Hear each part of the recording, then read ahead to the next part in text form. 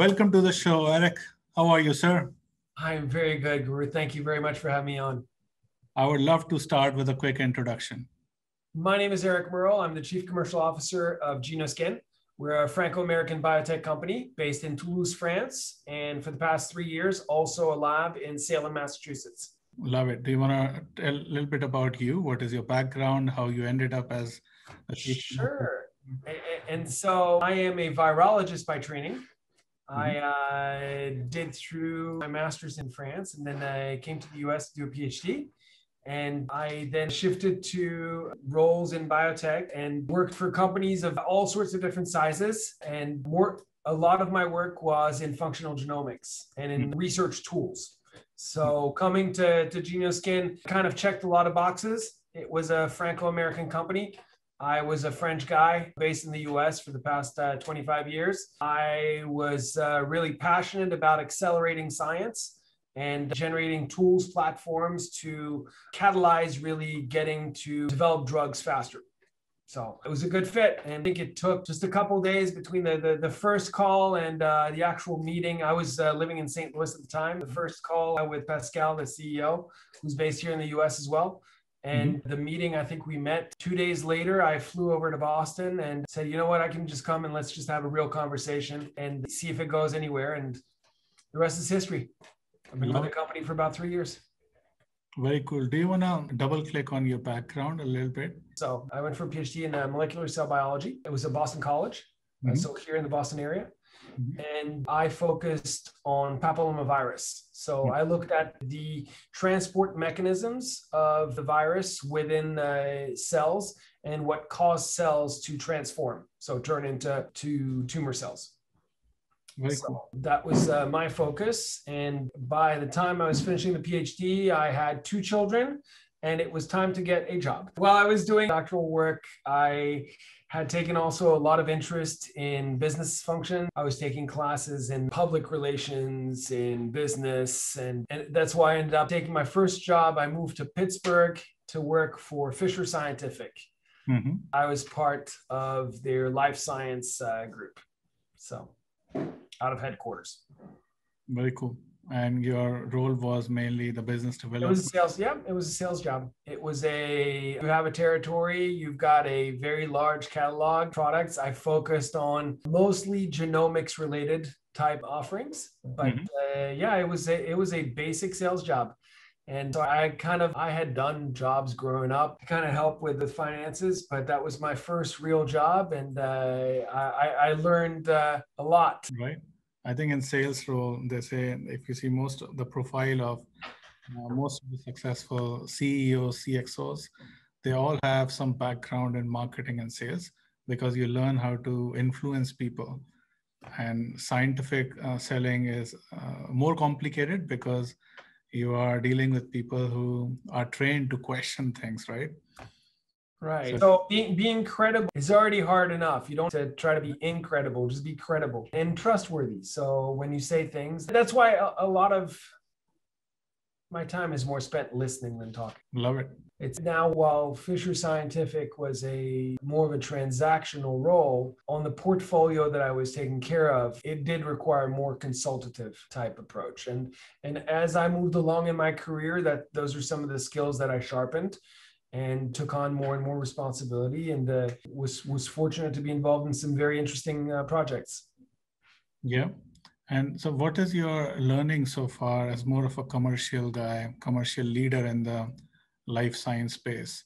Like how do you think sales uh, selling influencing people is different and especially knowledge based industry compared to let's say you are selling something or marketing something in the consumer space how do you think is different? So I think that the in any type of sales, it's important to listen to the customers and mm-hmm. uh, what their needs are. Um, but in science sales, uh, you also have to be able to be an educator right. and uh, to very much understand what you do, uh, what the company you represent does, because you have to be able to be an ambassador for that and you may have to explain to someone uh, which is very well educated, what your product does and and be able to stand your ground on it. Uh, to not be, you will be challenged, but to be able to be confident in what you're going to say. So, uh, what I look for in, in uh, team members that are going to be on the sales side is really people who, one, can listen, two, can educate, and um, and do so with confidence. And so I was not a skin guy, even though I can say, well, I've been an expert in skin for 47 years just because I've had a skin. But my expertise in skin, beyond reading some papers prior to joining Genoskin, has been really learning a lot from every talented person on the team and reading publications and, and keeping myself uh, abreast of what, what the industry does. Now, we don't just do skin for skin. So it's, it's somewhat misleading sometimes for people when they think, when they see what we do. But so it's, it's important to be able to have people who usually have also that scientific training on the team, even though it may not be a subject that is exactly the subject that we deal with, they have that mindset of questioning things, trying to understand so that to explain it. 100% because uh, you have to speak in the same language. If you are selling scientific product, obviously you have to understand the science behind it, like what will be the impact, how it is different from competitors. So it does help if you have uh, good scientific background. And to know when you don't have the answer, where to get it. That's really key. No, makes sense. Makes sense. So I would love to learn more about Genoskin. So what is your elevator pitch for the company? my, my uh, so so my elevator pitch is uh, that uh, we have uh, developed transformative technologies based on living immunocompetent and injectable skin mm-hmm. uh, to accelerate primary data generation uh, in order to uh, um, really um, de-risk uh, both therapeutic and non-therapeutic development. Mm-hmm. And do you want to talk more about the type of products or custom products you offer? Sure. So we were um, we we've evolved actually over the the past. Uh, we're a ten year old company. We'll be mm-hmm. celebrating our tenth anniversary in October, nice. and um, we we evolved a lot uh, in the past three years. First, we we developed the the the lab in the U.S. Uh, that was a big uh, a big move. The CEO decided to really bring the the DNA of the company here. He moved here with his family. Mm-hmm. Uh, that's when I joined as well and uh, to set up a lab, not just a commercial office, but um, it, with that whole perspective of being credible and being able to support a market, uh, it was needed to be present in this market, right. not just present with a sales office. And so we also, at that same time, launched uh, a platform called Hyposkin in which we were finally able to um, maintain the hypodermis, the adipose tissue, the, the fat layer uh, under the skin, uh, and to maintain it uh, in such a way that we could sustain injections. Mm-hmm. And we developed IP on it, uh, and it is the world's first and only injectable platform of a human being. So that really changed also who we were working with. The legacy business was Dermo Cosmetics. There was mm-hmm. a lot of pressure in Europe for um, shying away from animal testing and being able to, to find alternatives there.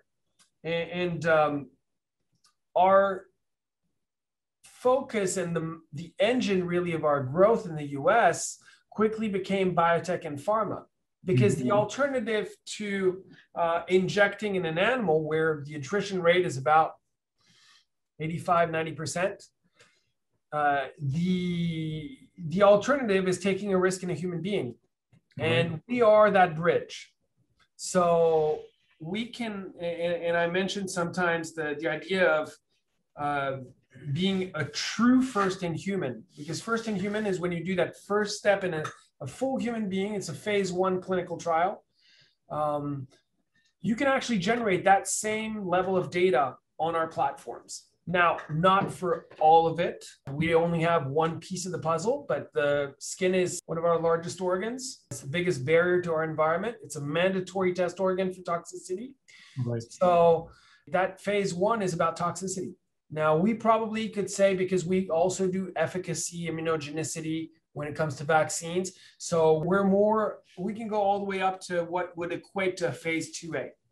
And actually, we were, we were invited by FDA at the end of 2019, yeah, Pascal and I, to train um, reviewers from CDER. So, and we went there. They wanted to see what was possible with the models, what were the limits, and we are a very active R&D uh, company. Mm-hmm. So we focus on going beyond those limits.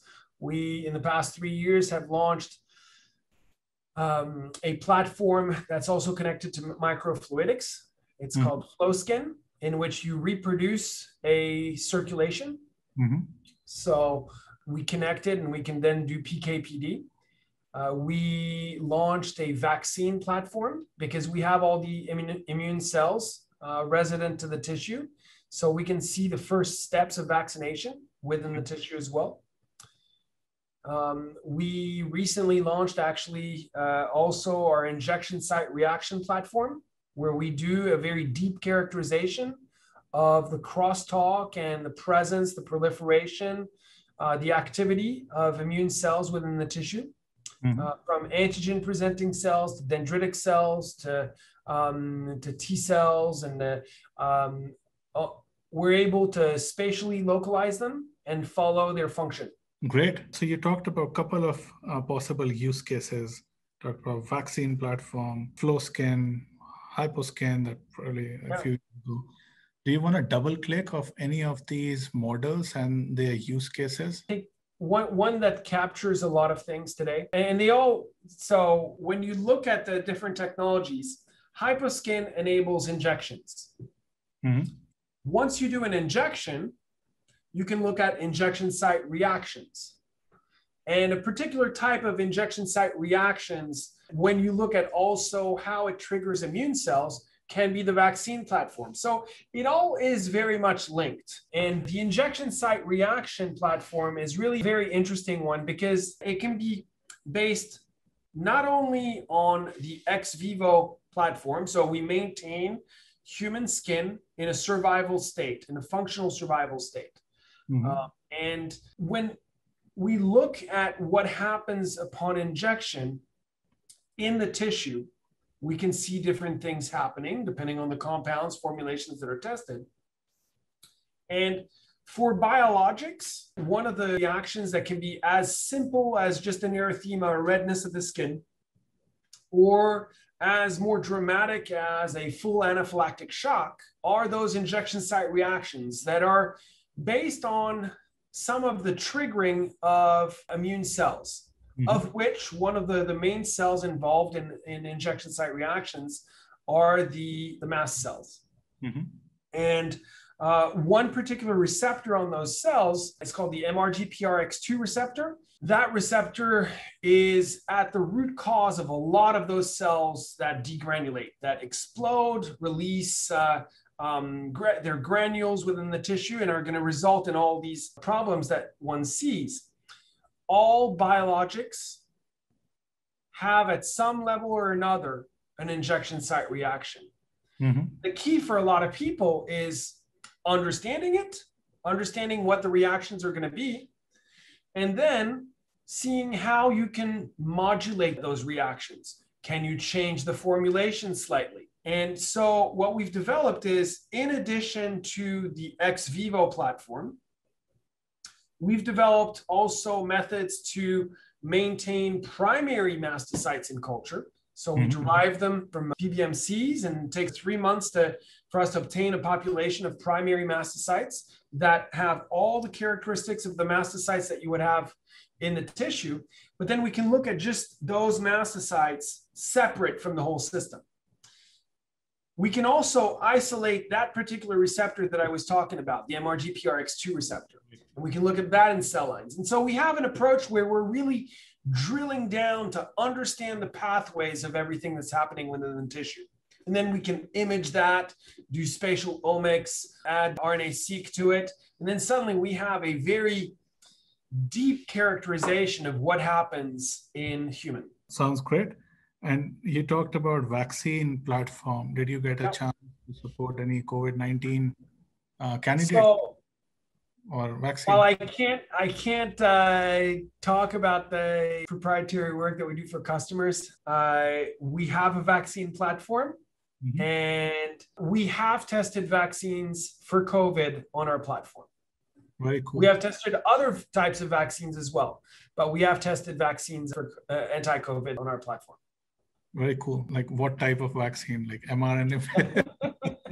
uh, that I unfortunately cannot give you more details, but uh, I can tell you that we have tested more than one vaccine. Love it. What is a business model? You are selling more. You're more so, toward today today the majority of our um, business relationships are um, our platforms. Okay. And, uh, for our product line which for a long time for seven years was really the, the driver of our business. Mm-hmm. um, our product line now is uh, is all available online. And mm-hmm. people can can uh, order that very very easily online and then get their products uh, for them. Now, that doesn't come with our expertise and uh, um, really uh, not only conclusions, but recommendations. And so, a lot of people talk about um, CROs. Mm-hmm. Uh, I'm not the one that coined the, the term I'm about to say, but we see ourselves more as a PRO, first, because to be a pro sounds really good.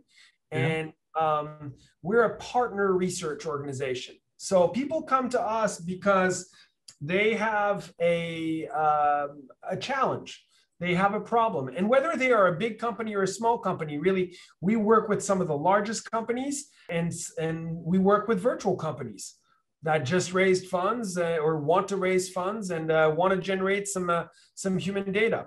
Because when you think of what we're able to do within the confines of this is not a full human being, but this is not emulating data. Right. This is not predicting in any way. This is generating primary human data. That's why I talk about true first in human. It is not cell lines, it is an actual functional organ. It's not an organoid.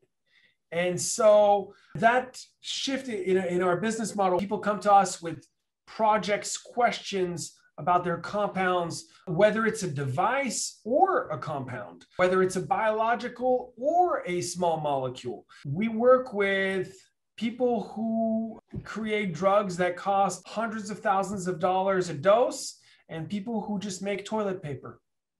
Right, right. There's, it's really, we, we run a pretty big gamut there. And so I'd say that 80% of our revenue today comes from the research partnerships, though. And you mentioned even virtual companies work with you as a partner. Big mm-hmm. pharma, bigger companies work with you. So, yeah. what stage they generally come to you? UC work, mainly safety work, just before clinical trial. So, so traditionally, it was all we fit kind of in this preclinical right? There's an embargo on the news that's coming out in, in July. So I'm not sure when this discussion will, will happen, but sometime in July will be some news about one of our partners that actually comes out on July 25th, but the embargo is until July 2nd. Mm-hmm. So we have one of our partners who took a molecule out of phase one Mm-hmm. and came to us because of concerns in injection site reaction. We worked with them to screen different variants of the formulation in order to identify one in which we didn't have as much. Actually, we had a very significant drop in degranulation of the mastocytes. Mm-hmm. This was data that they could not obtain on other platforms. And so that's where our business model is. And, and in terms of the types of companies that work with us, they can be publicly traded, very large companies. This morning, I was speaking to a three person company. And this is where our, our strength is, is that we make a full on scientific proposal. Everything is line item. So we try to future proof as much as we can the experimental phase so that we can think of many different analytics that we could do. Another big advantage of our platform that you will never be able to do in clinic uh, is the fact that you can do in the same donor multiple different tests. And when I talk about this partner where uh, we were able to determine a formulation that uh, was not causing injection site reactions, we could test in the same human being all the different conditions. That's something that you cannot do uh, in clinical trials. Yeah. So yeah. I think that, um, and, to look at clinical uh, development or drug development as it is today, we've got preclinical phase one, 2A, 2B, 3, 4, uh, and then it's released on, on the market. Um, the I truly think, and it will not be with only Genoskin, it will have to have more actors. Mm-hmm. But uh, I truly believe that um, the future of drug development will not take any risks in humans. When hmm. it will get to humans, it will be just a final validation.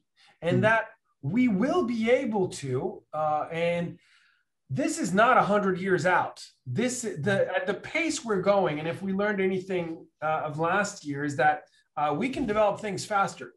Right. And um, we need to. Drug development should not take 15 years. And we can bring it to a level where there is no risk in a human being. It is only a human validation, the last step. But between AI, between um, platforms such as ours, um, and, and, other platforms that are developing today, uh, we can generate the data necessary to prove that it works in a human, to prove that it's safe in a human. Mm-hmm. And then it's just that final check it was done in a human, but without any risk. I think that's where we're going. And when I met with FDA and I also had the opportunity to meet with EMA, they said, don't get stuck with the different phases. This will change. It has to change. Animal work just doesn't work. And one out of 10 work. Right. Uh, the cost, I was reading an article that was published initially in, in or it was it was a publication, a scientific publication that came out in 2016, I believe. Mm-hmm. And it's it's the data out of that publication has been used by different marketing firms, but it estimated the cost of non-reproducibility of animal work, of preclinical work, uh, in the US alone to be $28 billion. Wow. So there's a lot of money at stake. There was recently, a couple weeks ago, uh, a company that was uh, announcing uh, that they were doing a fundraising of $95 million. Three days later, they were saying, well, the FDA just shut down our phase one and we're not closing the $95 million. This 28 billion, this 28 billion dollar loss is exclusively because of irreproducibility in animal work, or every it's yeah, it's it's uh, lack of reproducibility uh, of clinical trials. Got it. Okay, it's because of uh, uh, preclinical. Sorry, of preclinical. So it's the known reproducibility in once you hit the clinical trials. Got it. That's what uh, you just can't reproduce that, that data generated in preclinical. Right. Annual and, cost estimated at 28 billion. Like, why? I'll like, send you the reference. Sure. What do you think is the reason behind that? Is it? Uh, I think well, I think that the the animal issue is one. The attrition rate of work done on animals. Just if you look Sure, we have four limbs. We've got, we're warm blooded, they're mammals. Even if you look at non human primates, they're very close to us, but they're just not us. 100%. I, yeah, I, I was reading. The immune system is different. Yeah. The, the structure of the skin can sometimes be completely different. Right, right. And so to say that what you generate in an animal model is going to work I think what you can determine the best in an animal model, and, and that from an ethical standpoint, we take a big stand on it. We do not do any animal work, we don't use any animal products. The the best thing you can find in an animal is will it kill it? and yeah. if it kills it, you probably shouldn't try it in a human. Right, right. But the rest, it's a little bit like buying all of the lottery tickets and said that and saying that you won the lottery. Yeah, but you bought all of the lottery tickets. Right. One given ticket isn't really the statistics of it being a winning ticket or low. Right. No, I, I was reading somewhere, I think it was Nature article, and, and the title was like, Mouse is a mouse is a mouse. End of the day, it is a mouse, right? It's not any, it's not human. So I have plenty of, of people who tell me, well, I'd like to reproduce the data that I got in this mouse. And my answer is, are you developing a drug for a mouse? Yeah. Then let's develop data on a human. Right. But do you think FDA will, or are they even accepting any safety data on animal alternatives at the moment? To my knowledge, they have already. So I think there's a company, I believe it is called Simcyp. Okay. I think it's S I M C Y P. They're owned by a company called Certara, C E R T A R A. Mm-hmm. Um, and I believe that Simcyp has been able to get an IND approved. So going from preclinical to clinical based solely on AI data. Wow. Now, the funny thing about AI data is that it's only intelligent because you feed it information. Mm-hmm you can have a great algorithm if you don't feed it info it's not going to be a great algorithm right. so the there still is a need for data how right. do you generate it and so that's why i'm saying we can't be the only solution right because uh... it will take multiple different types of companies and, and we are also developing adding things complexifying the characterizations complexifying the data that we can generate so that we move towards not only the, the data generation, but better data, more data generation, so that we get closer and closer to that point where it's just a validation in human. Got it. So it looks like you have some uh, consulting element in your offering because you mentioned detailed scientific yeah. uh, proposals and uh, yeah. my assumption is correct. Yeah, absolutely. So, so we don't separate it from actual work. It is included with us designing experiments, designing study plans, spending a lot of time with, I have with a major pharmaceutical customer, I have a weekly call, which includes also our chief scientific officer and also a study director, where we exchange on where the research is going to go. And that's why I'm talking about being a research partner. And mm-hmm. some people talk about becoming extensions of their labs. Sure, we do it on contract, but we're truly research partners in that sense. And science doesn't always go in the direction that you expect. And it's our responsibility to guide on how we can best help catalyze our partners' work. Yeah. And so cons- consulting element is there. So your platform based business model, your off the shelf product. So today it's about 80% of our business is uh, the platforms and 20% is the, the products. Okay. And do you have any uh, data analytics offering as well? So you are making prediction, not just based on the data you generate, but also like, do you have in the backend some historic historical data of not millions? Today. Not today. So today it is, well, it's not done in a structured way. Okay. So that will be uh, one of our future moves. Got it. Because so, because there is we we are a tremendous uh, source of potential data, even if it's anonymized, de-identified in some way. The power of that amount of data that we generate uh, is is strong. Um, uh, we have one of the largest uh, uh, sourcing networks, both in the U.S. for the U.S. lab and the uh, in France for the French lab um, of tissue. We work very closely with surgeons. Uh, we develop the, the the we stabilize the the skin within 12 hours of a surgical procedure. This mm-hmm. is the logistics of an organ transplant. Yeah. Because yeah. this is it stays live. The patient is alive and the patient's tissue organ is alive in our labs. Yeah. Are you doing any bioprinting uh, as well? Like, are you printing So um, I'll, I'll, answer it maybe in a cryptic way. Uh, the the if we had uh, our dream list of what we could have, mm-hmm. we would have a full human being. But ethically, that's kind of challenging. So um, right now we have, well, we started, we just had two of the layers of the skin. Then suddenly we had three layers. Uh, then suddenly we're connecting, uh, we're injecting. Um, so I said we're a very active R&D uh, company. Uh, we are definitely looking at going beyond the, the today's limits of what we have. Love it.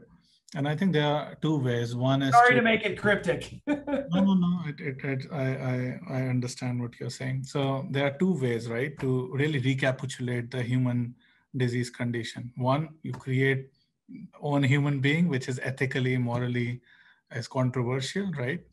Yeah. Other is you have all the data points, probably billions of data points, all the variables, and you create in silico uh, version of human to recapitulate all the possible. Right. And that's why I'm saying that we may not be the only piece of the puzzle. We can't right. be the only piece of the puzzle. 100%. So I think we're. And, and so there will be all these pieces of the puzzles. There yeah. may be an integration at the end. Maybe the future of, of uh, regulatory bodies such as FDA is to be that integrator. Yeah where they get all of the data. They are the integrator that then says, okay, we have enough, we're confident, final human validation, we're done. Right, right. Yeah. And what are your thoughts? Maybe about- will grow to be that that company that collates everything. I don't know. Right. No, this is super exciting, but currently because data is all over the place, right? Even companies that are generating data or hospitals, the pharma companies running clinical trials. So there's no centralized way to even structure the data properly. So we are arguably not learning from our previous mistakes. And argu- arguably, we are not creating a better human replicas with all the data we are generating. So how we can possibly reach that, that promised land is probably through a marriage between different fields. So you uh, and I know that there there are companies out there, of which ours, which are starting to talk on how we can all work together. Right, right. So because it does require some pre-competitive uh, mm-hmm. collaboration more and more. Yeah. I, I think it, the future is super super promising in this uh, space. Do you have any patent on your technology? Like, what is the IP here? So we do have IP. The initial IP was how do we stabilize skin? So the idea in itself is very simple, right? There are two uh, two ways of having skin or, or um, reconstituted skin. In our case, it's not reconstituted, but our idea was very simple: is mm-hmm. how do we leverage what nature has made, right, and what otherwise would be destroyed. At the end of a surgery that sample is getting destroyed. And we're mm-hmm. kind of flipping it and we're like no don't throw it away. It's it's an invaluable we know how to keep it alive. It's invaluable source of data. Right. So um, our first patent was how do we prepare stabilize the tissue in such a way that it can stay in this functional survival state for an extended period of time. Because right. otherwise the skin will start uh, degrading very quickly 24 48 hours. Yeah yeah. So that was our first uh, patent and i believe um, that was uh, at the in the early days of our company. Since then we've had uh, an active ip um, effort. And so the injectable uh, model, that's an IP that's been uh, filed. Uh, the flow skin model, that's uh, also IP. The injection site uh, reaction platform, where not only do we take the, um, the ex vivo, but we also add on to it.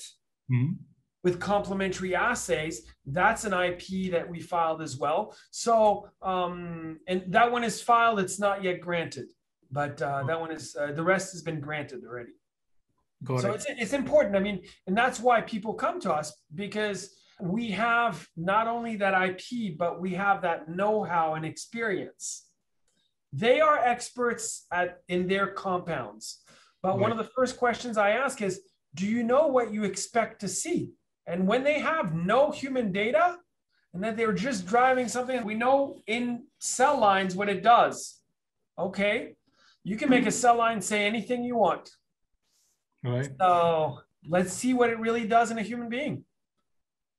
And so we're seeing a lot of partners also that come to us with repositioned drugs, repositioned compounds. This has anti inflammatory activity. All right, can we use it in your psoriasis model? So that's another IP we have. We developed a 17TH1 uh, platform. So a psoriasis like inflamed tissue. That takes 3 mm-hmm. days to get the tissue to, to have the same properties as you would have in a psoriasis patient. Right, right. We developed that with Leo Pharma, and it's been used by many uh, many customers to date. Great. And when you say let's generate, let's see, like how the human, I'm paraphrasing, how it perform in human if it's a repurposed drug. So what do you what is the desired outcome here? So when companies come to you, they are like, is your sweet spot doing efficacy testing or uh, more comparable studies for repurposed drug bioavailability? So like is we, the sweet spot because the sweet spot today is in immunomodulation and in efficacy. So we're very, we very much have a focus and expertise in immunology. That makes sense. So, and because we really, the fact that we're able to maintain the tissue as an immunocompetent tissue, albeit we're not recruiting more immune cells today. I measure my words as I say today. Where we have uh, on any given 40 micron slide, probably 800 immune cells in there. Wow. Okay. That are all cross-talking. Immune cells tend to leave the biopsy after 24 hours. Here we, we keep them really encased in the biopsy and they keep doing their thing. Love it. And who will you consider your closest competitor? Because there are many players creating human on a chip. So yep. arguably they are also um, so people who are yeah. So and, it, and it's interesting, right? Because I said we're not emulating. Yeah. So um, a lot of people are, are emulating those organoids are uh, they're they're reproduced structures we didn't reinvent the structure. We developed technology to maintain the normal structure, to maintain all of the cells that are in the tissue. So mm-hmm. it's a different approach, right? We didn't reinvent the wheel. We're like, oh, the wheel exists. Great, let's use it. But how, how do you even get so, whole body experience to your model? Uh, well, I completely understand that argument. And I say, but, but nobody is today. Right. Nobody has the whole body. So that's mm-hmm. why I'm also saying maybe to get to that whole body, it will take many companies getting the pieces of the body. Mm-hmm. And uh, that sounds a little bit like a Frankenstein story, but the the uh, the if we each have a piece of that puzzle, we can um, we, we can find those answers. And so to, to ask who our competitors are today, our competitors are well, all of the animal work. Okay. We see it as a competitor because people go to them for, and there are some major companies, right? I don't need to mention their names, but there are some major companies that do animal work. Right. Even those companies, if you look at their acquisitions they're doing today, yeah, they're buying insurance because they know that animal work uh, is going to come to an end. So, do you think we will replace animal testing with more ethical, more economical? Absolutely. Not only do I believe that we'll make it, we really have a moral obligation to do it. 100%. Yeah. Uh, we have a moral obligation to develop drugs, better drugs, in a faster way, all while maintaining a safe way of doing them right. And that's that's uh, that's really my motivation. I know it's our company's motivation. Uh, and uh, we can get there. We're not we're humble enough to know that we can't do it alone. Right. but it is our responsibility as the biotech and pharma industry to be able to support those drug developments in a better way. So, what type of timeline we are talking about? Five years, 10 years, 15 years? When do I have a do I have a crystal ball? If I did, I, I um, well, EPA has said end of animal testing uh, 2035. Okay. So it's slowly coming, right? It's like slowly coming. Um, it started off with the uh, the cosmetics industry. Right. It started off in Europe. That's how we came to be as a company. There's a lot of companies that work on skin uh, out of France, where we where we were born, uh, and um, it that pressure extended to Asia. Mm-hmm. Actually, as of May 1st, China, even for uh, for a certain category of cosmetics, now um, uh, does not require animals. They required animal testing before that. Right. No, I heard that. And in the US, I think we're up to seven states, of which California, uh, for cosmetics products, cannot be tested or made with animal products. But California being the eighth economy in the world, suddenly that means no one in the US is going to do it. Right, right. Um, so it is the future. Um, when it'll happen, if you want me to put a date on it, I'll put a date on it. Let's do it. I'll say 2050. I want to see it. I want to still be alive and see it. Okay. No, that's not a bad. 20, 2050 gives us 25 years. When I see what we've done in in uh, just three years, I have no doubt that we can be part of this adventure. 2050, we'll probably be on Mars. Maybe we need sooner than that. Yeah. Now, think about it. Uh, it's funny you mentioned Mars. Are we willing to take risks on humans the same way we took risks sending initially monkeys to the moon? Or uh, sending monkeys in space. Sorry, they didn't make it to the moon. They made it in space, right? And I think the first monkey, it was sent by Russians and uh, uh, it, it, died. Uh, but so animals supported our crazy ideas, but then we were able to do better. Right. This is where we're at in biotech and pharma. And even if we go to space, uh, hey, maybe our next model will be called Space Skin. Yeah. and we can test on our models what happens to a human being that's injected on a three-year uh, trip to Mars.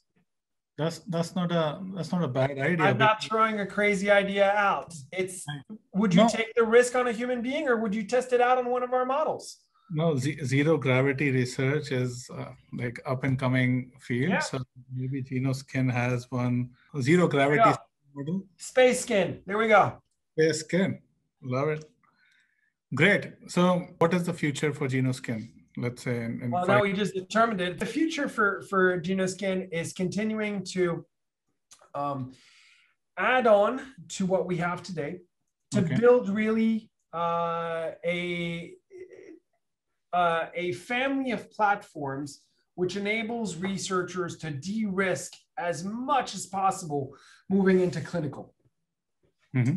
and um, so we've been able to grow to the point we're at in 10 years uh, by bootstrapping it and hmm. uh, and uh, uh, doing non-dilutive funding grants and and uh, and uh, similar things in, in, Europe as well.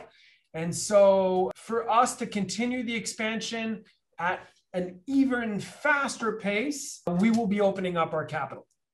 Mm-hmm. So but it's a different it's not quite just an idea thrown on a on a napkin and uh, you see some vcs at the in kendall square in, in boston. And you say i got this idea let's do it. We've been doing the proof of concept for 10 years.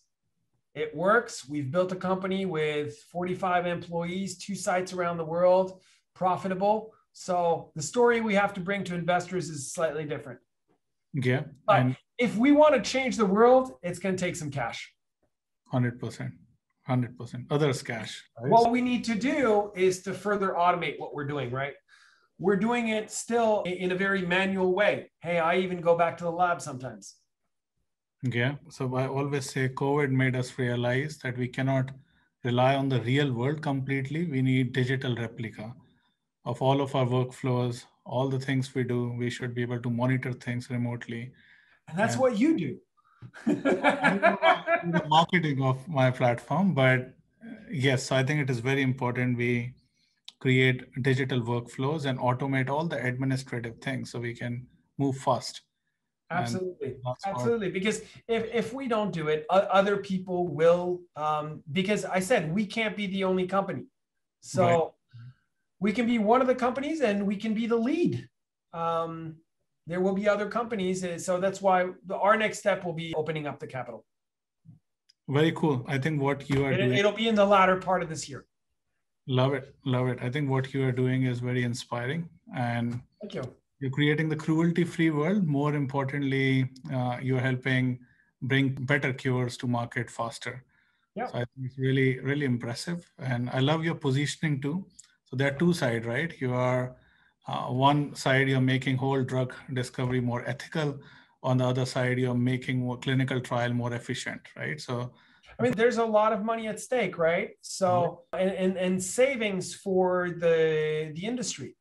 So if you can do it faster, it means that the cost of developing a drug will be lower. It means that the drugs should be more affordable. Right. Uh, it's it's a full cycle.